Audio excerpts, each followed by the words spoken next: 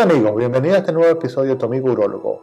Hoy vamos a desarrollar un tema muy importante para las féminas. Vamos a hablar sobre las infecciones urinarias recurrentes. Vamos a ver 10 consejos que nos pueden ayudar a prevenirlas. Sin más preámbulos, ¡vamos!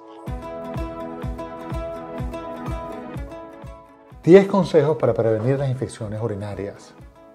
Las infecciones urinarias, también llamadas cistitis, son uno de los motivos de consulta más frecuentes de mi práctica diaria sobre todo cuando se hacen recurrentes. Esto significa que la paciente presenta más de tres episodios de cistitis al año o dos en seis meses. Simplificando la clasificación, debemos distinguir entre las pacientes pre y postmenopáusicas porque la etiología puede diferir. Lo importante es hacer una buena evaluación urológica, tratar del germen causal, dar recomendaciones sobre hábitos y estilo de vida que pueden ayudar a prevenir futuras recaídas de la paciente. Consejo número 1. Ingiere abundantes líquidos. Esta es una de las recomendaciones más importantes que impartimos. Se sugiere que se deben de beber al menos 2 litros de agua a lo largo del día hasta conseguir una diuresis adecuada. Un tips que les doy es tomar sorbos de agua, infusiones, jugos o zumos hasta lograr una orina que sea muy clara, casi transparente. Esto significa que hay una buena diuresis y estamos limpiando el tracto urinario. Consejo número 2. Evita el estreñimiento. El estreñimiento debe ser tratado en todos los casos de infecciones urinarias, ya que es uno de los principales eh, problemas asociados a las infecciones. Se sugiere iniciar consumo de fibra natural hasta lograr el ablandamiento de las heces. Consejo número 3. Evita la retención de orina.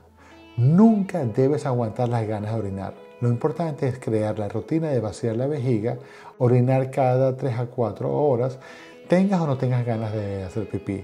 Una vejiga vacía es menos susceptible al crecimiento bacteriano.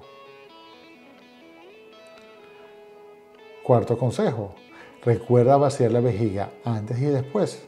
Muchas de mis pacientes se quejan que sus cistitis están íntimamente relacionadas con el coito. Refieren infecciones frecuentes después de sus relaciones sexuales. Se ha podido determinar que vaciando la vejiga antes y después del acto sexual disminuye sustancialmente el riesgo de cistitis. Otro consejo, evita los espermicidas, los cuales también contribuyen a la aparición de la cistitis. Mantén una correcta higiene íntima. Este es un consejo que todas las madres les enseñan a sus hijas. Lo importante es mantener una dirección adecuada al momento de limpiarte. Delante hacia atrás. La idea es evitar el arrastre de las bacterias al área periuretral. Llegamos al consejo número 6. Usa un jabón de pH neutro. Un jabón de pH neutro es menos abrasivo y produce menos irritación. Recuerda que ducharte antes de tener relaciones también ayuda a evitar las infecciones. Consejo número 7. Recambia el pañal cada 3 a 4 horas. En los adultos mayores o en aquellos que requieren el uso de pañales, es importante su recambio frecuente. Los pañales se comportan como grandes centros de cultivo y proliferación de bacterias. Usa ropa interior de algodón. El algodón reporta menos tasas de cistitis que las fibras sintéticas. También debes evitar prendas muy apretadas, ajustadas. El calor y la humedad que esto produce favorecen el crecimiento de patógenos. El recambio de los tampones cada 3 a 4 horas es algo que sugerimos hoy en día. El uso de los tampax de los tampones siempre ha sido controvertido. Lo que sí se ha podido demostrar es que cuando se hace un recambio cada 3 a 4 horas de estos tampones, tienen menos infecciones que las pacientes que permanecen largos periodos de tiempo con las toallas sanitarias. Las copas menstruales aparentemente están dando buenos resultados. Y como último consejo, quiero decirles que consulten a un urólogo. Usar regularmente cranberry, arándano rojo no requiere prescripción facultativa pero si lo estás usando regularmente y frecuentemente es porque algo está sucediendo.